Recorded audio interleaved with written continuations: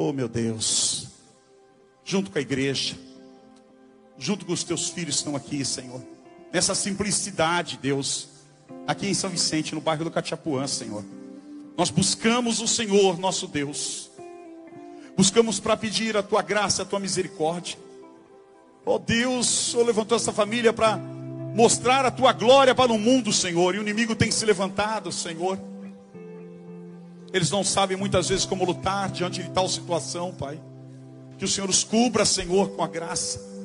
Que o Senhor os cubra com misericórdia com bondade, Senhor.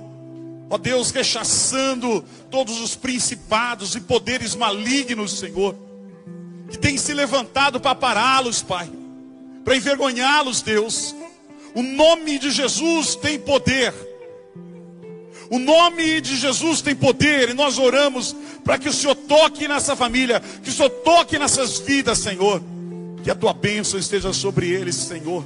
Que a tua bondade, a tua misericórdia, que levem, Senhor, desse tempo que permaneceram aqui, Senhor, conteúdos que sejam ouro na vida deles, que sejam valores, Senhor, poderosos, Senhor que o teu nome seja glorificado na vida deles. Oh, rechaça todo mal, Pai. Toda obra do maligno, Senhor. Todas as obras feitas, Senhor. Todos os atentados no mundo espiritual, Senhor. Sejam rechaçados. Que os anjos do Senhor segurem, Senhor. Põe as tuas mãos, Senhor. Cuida da vida do teu filho. Abençoando e guardando, Senhor. Fazendo uma grande obra, Pai. Nós pedimos a tua ajuda, a tua misericórdia, em nome de Jesus. Amém.